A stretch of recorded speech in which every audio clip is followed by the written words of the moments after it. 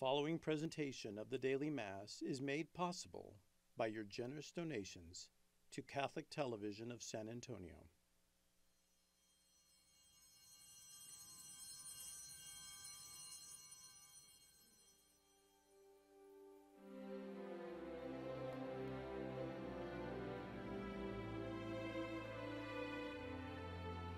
The Archdiocese of San Antonio and CTSA invite you to join us in celebrating these sacred mysteries, listening to God's Word, and partaking of spiritual communion. Welcome to the Daily Mass.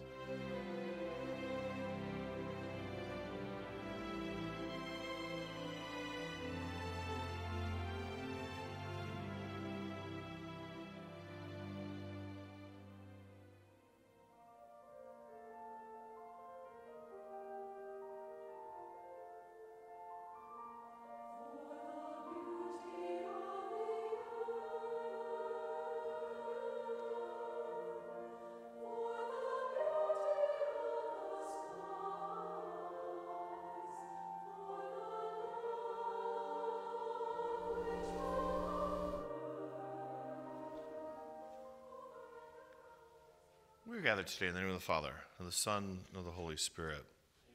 The Lord be with you. It is September 10th. It does not feel like there's been enough time gone by to get to this point, but it is that date. Our, it's hard to believe. I mean, school just started, and we're already at our stewardship fair for our parish.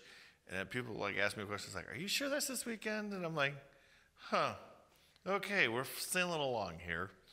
And tomorrow, obviously, the anniversary of September 11th and just that horrific event. I have relatives in New York. I have my sister's brother in law that saw the second tower come down. So, for all those people that are still feeling the impact and the loss from, from September 11th, and for peace, I really think in our world, you know, we pray for all these things, but we pray for the people that hurt us. We pray that they might find God. We pray for those that don't know the God that we know and we pray that through us bringing God more completely into this world, not bringing it, but helping people understand His presence more completely in this world, that we may truly work to bring peace. So as we begin this celebration, so that we can be open to that peace ourselves, let us ask forgiveness for our sins.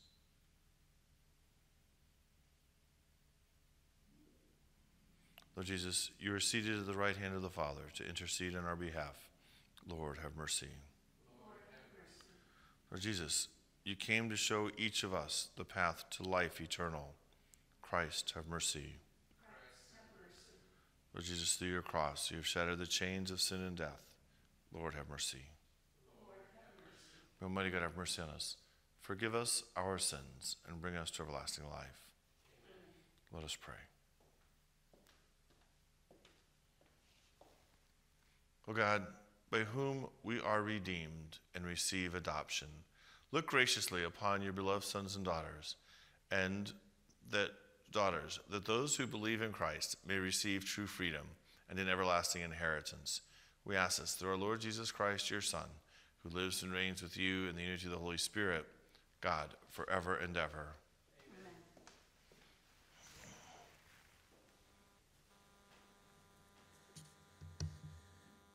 A reading from the letter from the first letter of St. Paul to the Corinthians. My beloved ones, avoid idolatry. I am speaking as to sensible people. Judge for yourselves what I am saying. The cup of blessing that we bless, is it not a participation in the blood of Christ? The bread that we break, is it not a participation in the body of Christ? Because the loaf of bread is one, we, though many, are one body, for we all partake of the one loaf.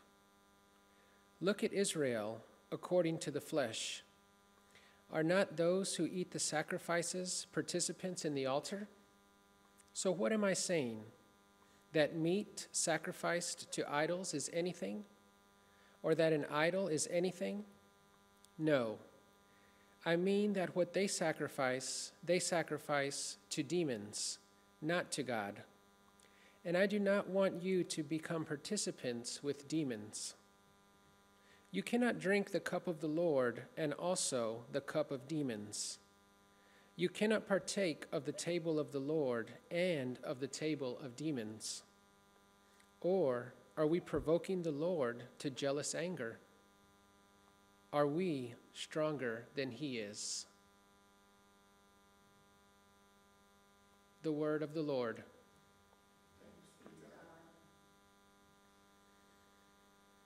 To you, Lord, I will offer a sacrifice of praise.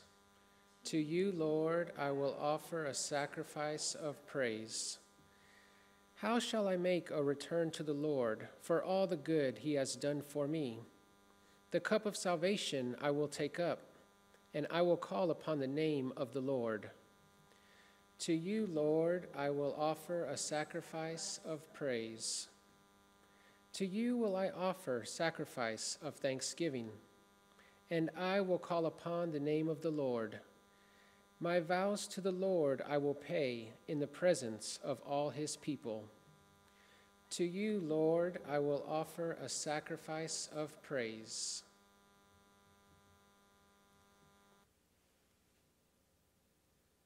Hallelujah, hallelujah, hallelujah,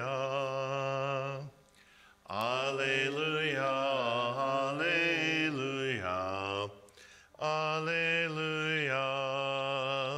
Whoever loves me will keep my word, and my Father will love him, and we will come to him. Alleluia, alleluia, alleluia. The Lord be with you. With A reading from the Holy Gospel according to Luke. Jesus said to his disciples, A good tree does not bear rotten fruit, nor does a rotten tree bear good fruit. For every tree is known by its own fruit. For people do not pick figs from thorn bushes, nor do they gather grapes from brambles. A good person out of the a good person out of the store of goodness in their heart produces good, but an evil person out of the store of evil produces evil. For from the fullness of the heart the mouth speaks. Why do you call me Lord, Lord? but do not do what I command. I will show you what someone is like who comes to me, listens to, listens to my words, and acts on them. The one is like a man building a house who dug deeply and laid the foundation on rock. When the flood came, the river burst against that house, but could not shake it because it had been well built. But the one who listens and does not act, is like a person who built a house on the ground without a foundation. When the river burst against it, it collapsed at once and was completely destroyed. The Gospel of the Lord. Praise to you, Lord Jesus Christ.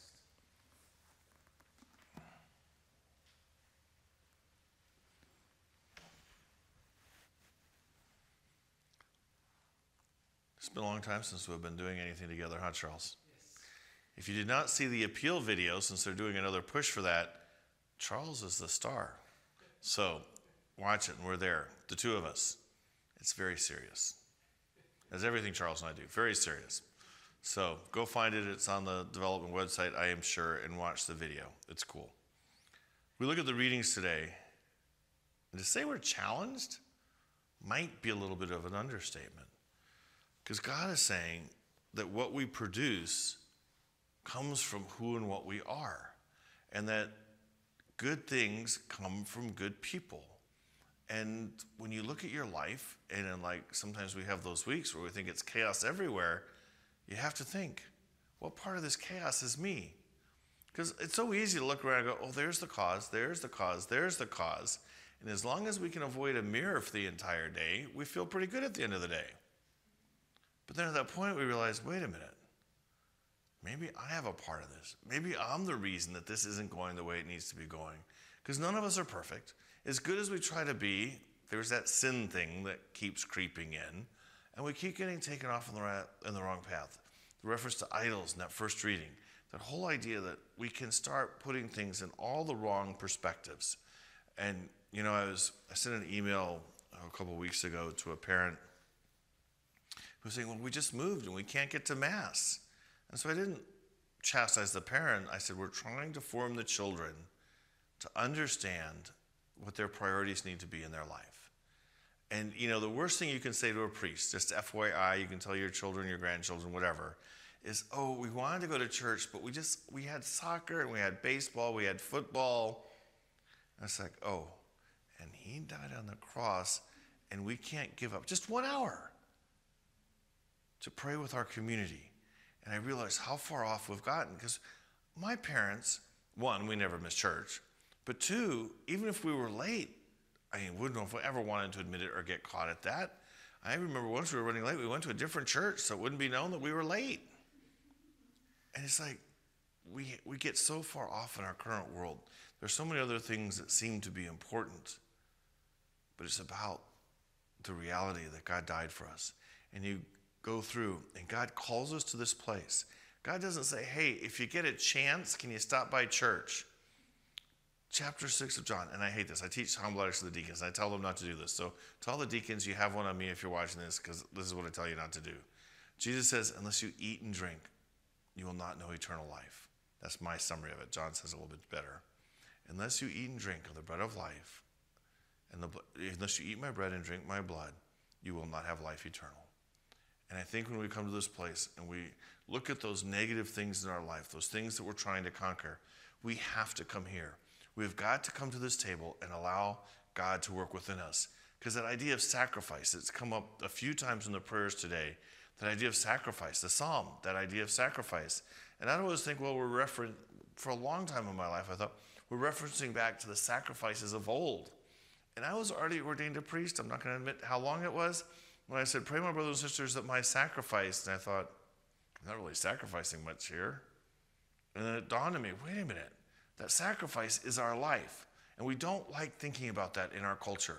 We don't like thinking that we have to give anything up. We want it all. And that one comedian that says, You can't have it all, where would you put it? Sana puts it in comparison. We do have it all. We have eternal life with God. I don't know what more we could ask for, but it seems like all those things sort of get in the way new cars, new houses, new this, new that, new whatever. And we forget that we're called to this table to sacrifice, to give of ourselves. And we ask God to transform us by the very act that we come here. We're asking God to transform us. And that, I think, if people understood, would be a legitimate reason to be cautious coming here. But we come and we place our lives on this table, we're saying, God, mold us, change us. But we don't say into what. That's why we have the Lord's Prayer word is, because we pray, Your will be done. Because when we say amen, it doesn't mean I believe. Where that came from, I have no idea. If somebody knows, let me know, because I have no idea. Because it means so be it. We're assenting to God's will, that we're asking to be changed, we're asking to be made holy, and then we say amen. Not to do it in our terms, but we want to be transformed in God's terms. And we take what we placed on the altar and we receive it back into ourselves, and we are changed. And, you know, we think that's a nice ethereal concept but I know things in my life I have fixed by placing them on the altar and giving them to God. It Didn't always work the way I thought it would, but it's always worked that God has come and healed whatever that, that was needed healing, changed what needed changing. I know people that have overcome addiction who have failed at 10 um, step processes and have come in addition to their 10 step process and placed their addiction in the bread and the wine. And one guy within a month he said he was better. He called me after his first year. He said, This is my first sober year that I can remember.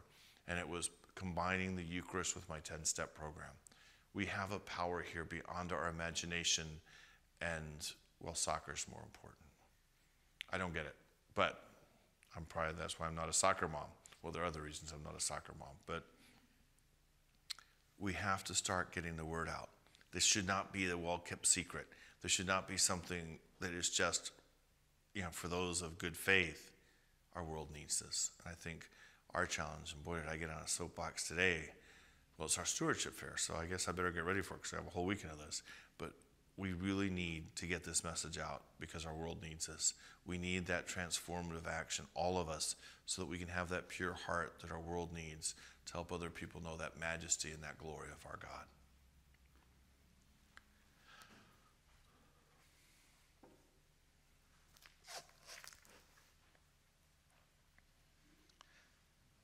Together with one voice, we bring our prayers and petitions to the Lord. For the church throughout the world. May God plant the seed of his word in the hearts of believers and help them to bear good fruit. Let us pray to the Lord. For judges and others in positions of judicial authority, may the Holy Spirit guide them in wisdom as they balance forgiveness, mercy, and justice.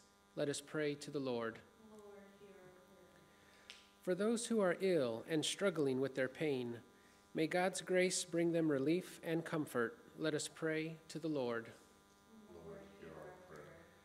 For this faith community, may God continue to guide us in responding to his call of discipleship and holiness. Let us pray to the Lord.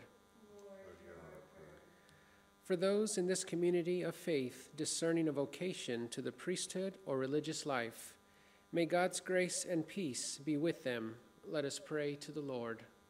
Lord For all who have died, may they rejoice in perfect communion with the Lord. Let us pray to the Lord. Lord, hear our prayer. For all who were impacted by September 11th, for those who are still living with the pain and the hurt from that day, and for peace for our world. Let us pray for the let us pray to the Lord. Lord Almighty God, you invite us to be united to your very self. Help us as we pray to overcome the divisions that separate us and help lead us all to your table, to your altar, to your peace. We ask this through Christ our Lord.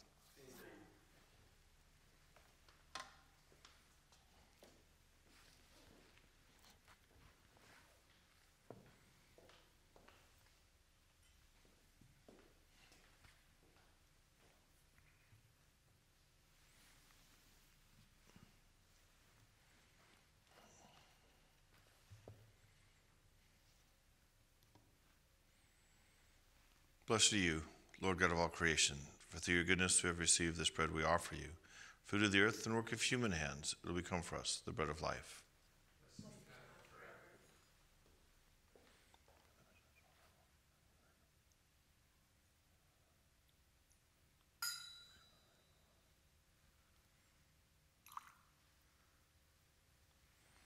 Blessed are you, Lord God of all creation, for through your goodness we have received the wine we offer you Fruit of the vine and work of human hands, it'll become our spiritual drink.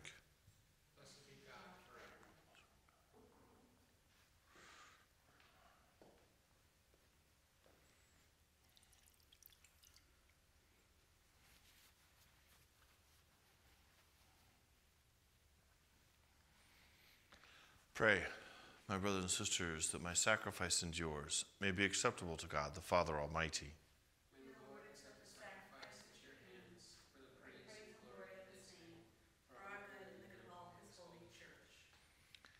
O God, who give us the gift of true prayer and of peace, graciously grant that through this offering we may do fitting homage to your divine majesty, and by partaking of the sacred mystery, we may be faithfully united in mind and heart.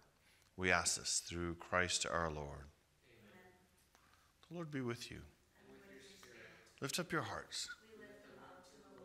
Let us give thanks to the Lord our God. Is truly right and just, our duty and our salvation, always and everywhere to give you thanks, Lord, Holy Father, Almighty and eternal God. For you so loved the world that in your mercy you sent us the Redeemer, to live like us in all things but sin, so that you might love in us what you loved in your Son, by whose obedience we have been restored to the gifts of yours that by sinning we had lost by disobedience. And so, with angels and saints, we too give you thanks as an exaltation we acclaim. Holy, holy, holy Lord, God of hosts, heaven and earth are full of your glory. Hosanna in the highest. Blessed is he who comes in the name of the Lord. Hosanna in the highest. You are indeed holy, O Lord, the fount of all holiness.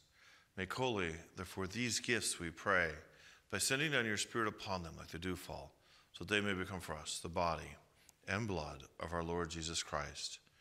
At the time he was betrayed and entered willingly into his passion, he took bread and giving thanks, broke it and gave it to his disciples, saying, Take this, all of you, and eat of it. For this is my body, which will be given up for you.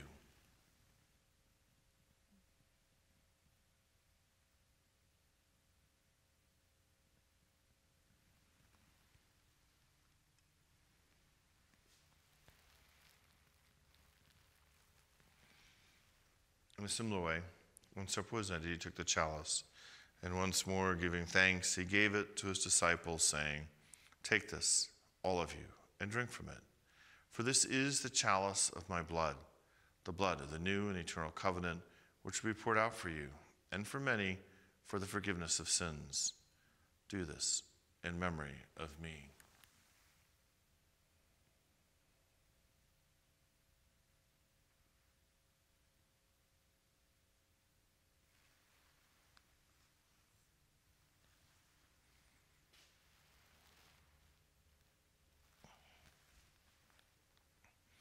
The mystery of faith. We proclaim your death, O Lord, and profess your resurrection until you come again. Therefore, as we celebrate the memorial of his death and resurrection, we offer you, Lord, the bread of life and the chalice of salvation, giving thanks that you have held us worthy to be in your presence and minister to you.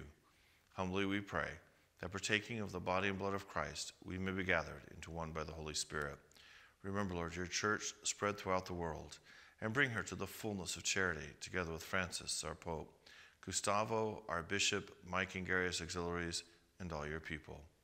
Remember also our brothers and sisters who have fallen asleep in the hope of the resurrection, and all who have died in your mercy. Welcome them into the light of your face. Have mercy on us all, we pray, that the Blessed Virgin Mary, Mother of God, with St. Joseph, her spouse, with the blessed apostles, and with all the saints who have pleased you throughout the ages, that we may merit to be co heirs to eternal life and may praise and glorify you through your Son, Jesus Christ. Through him and with him and in him, O God, Almighty Father, in the unity of the Holy Spirit, all glory and honor is yours forever and ever. Amen.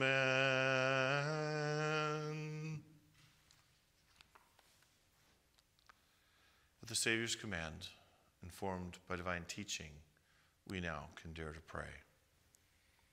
Our Father, who art in heaven, hallowed be thy name.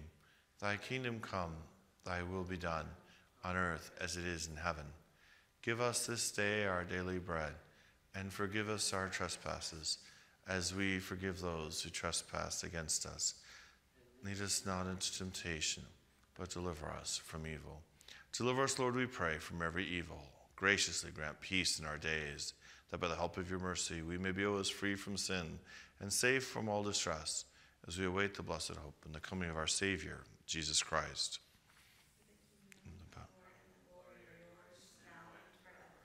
Lord Jesus Christ, who said to your apostles, Peace I leave you. My peace I give you.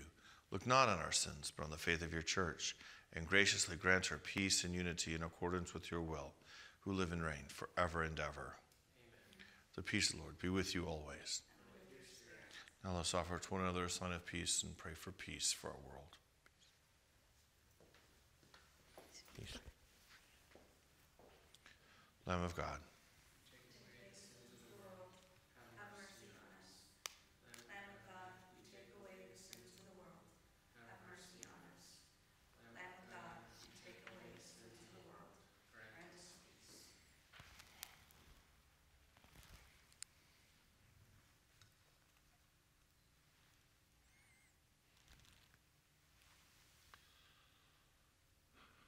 Behold the Lamb of God.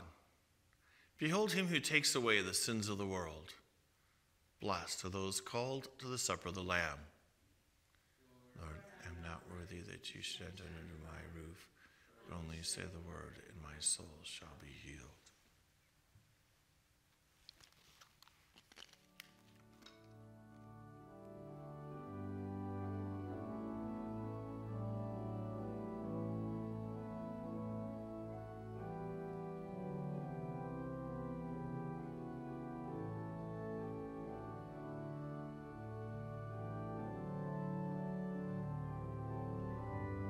My Jesus, I believe all that you are in the Blessed Sacrament. I love you above all things, and I long for you in my soul. Since I cannot now receive you sacramentally, come at least spiritually into my heart. As though you were already here, I embrace you and unite myself entirely to you. Never permit me to be separated from you. Amen.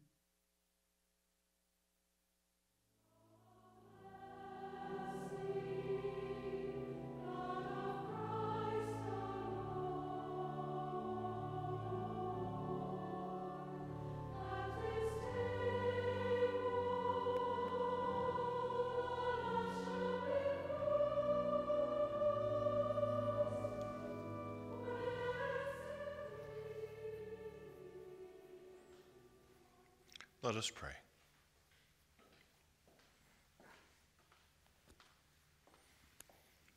Grant that your faithful, O Lord, whom you nourish and endow with life through the food of your word and heavenly sacrament, may so benefit from your beloved Son's great gifts that we may merit an eternal share in his life, who lives and reigns forever and ever. Amen. Again, thanks to our sponsors, to all that make this possible. And remember, I mentioned the appeal. Go check out that video. It was a lot of fun doing, and people told me they really enjoyed it. So go check it out. Charles and Pat. The Lord be with you. Remember, God bless you, the Father, the Son, and the Holy Spirit. Go in peace, proclaiming the good news with your lives.